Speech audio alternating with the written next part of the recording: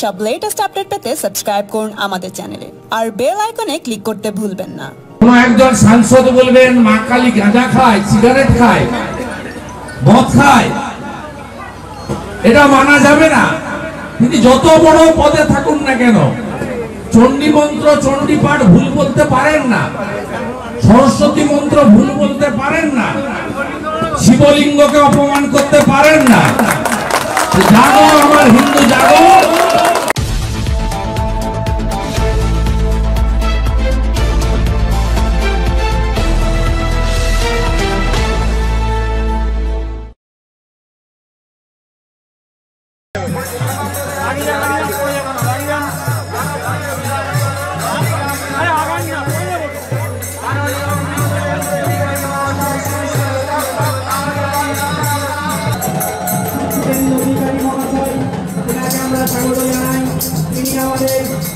মন্দিরের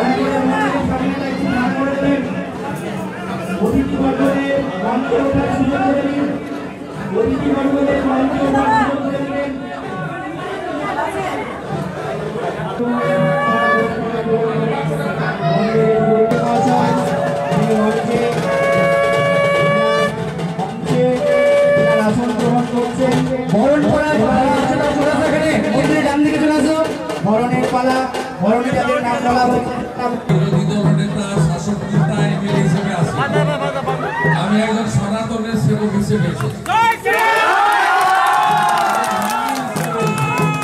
আমি একজন ভারতীয় হিসেবে এখানে এসেছি আমি আমার মেহুলা এই ঘোষপাড়ার সমস্ত দুর্গোৎসবের যারা আয়োজন করেছেন তাদের সবাইকে শারদ শুভেচ্ছা জানাই।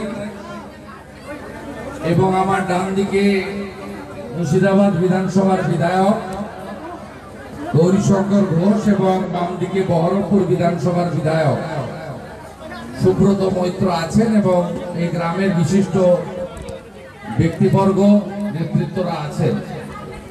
আমি আমার অগ্রজদেরকে প্রণাম নিবেদন করি। আমার মাতৃমণ্ডলীকে শ্রদ্ধা জানাই। আমার সতীর্থ এবং অনুজদের শুভেচ্ছা দিই।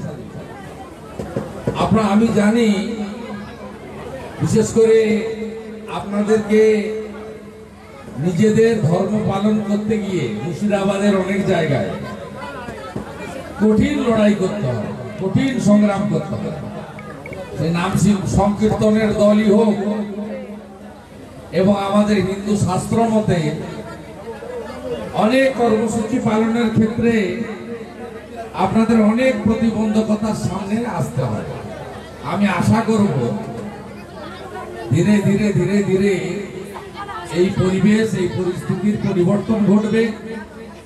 আজকে যেভাবে আমাদের দেশের প্রধানমন্ত্রী রাম জন্মভূমি মন্দিরের কাজ শুরু করেছেন চারশো বিরানব্বই বছর পরে কেদার ধাম বদ্রী ধামকে নবরূপে সজ্জিত করেছেন।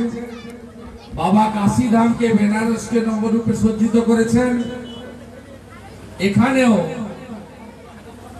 একইভাবে পশ্চিমবাংলায় সনাতন সংস্কৃতির জয়যাত্রা এবং গেরুয়া ধ্বজের যে মর্যাদা, সেটা আমরা সবাই মিলে রাখতে পারব। আর দেবী মা দুর্গা, আমরা কেউ পিতৃপক্ষে আপনাদের কাছে আসি অনেকে তো পিতৃপক্ষে পিতৃপক্ষে কোনো শুভ কাজ করা যায় না। কাঁচি নিয়ে ঘুরে বেড়াচ্ছেন। পুজো উদ্বোধন করতে।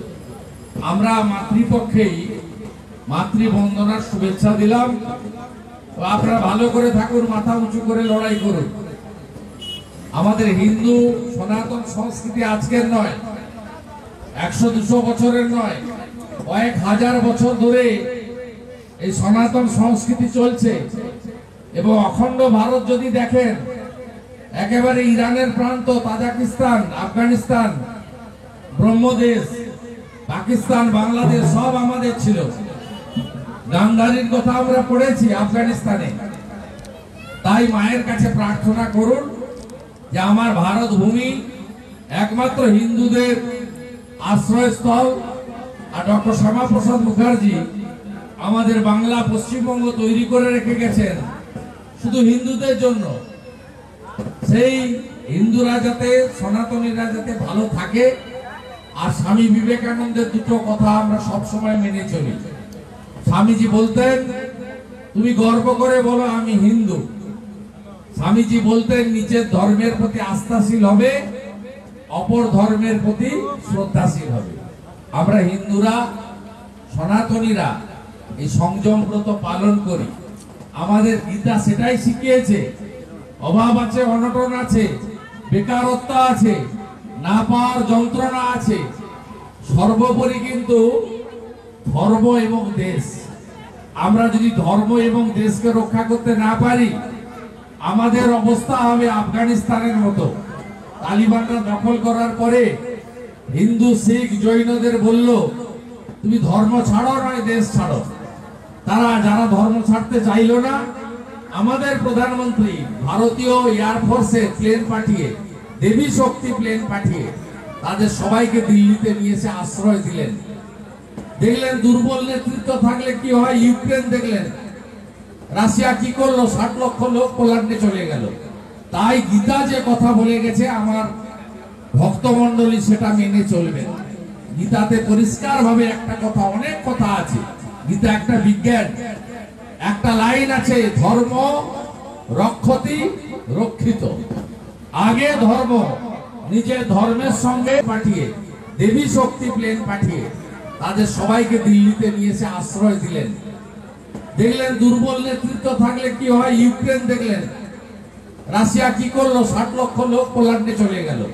তাই গীতা যে কথা বলে গেছে, আমার ভক্তমণ্ডলী সেটা মেনে চলবে গীতাতে পরিষ্কার ভাবে একটা কথা, অনেক কথা আছে।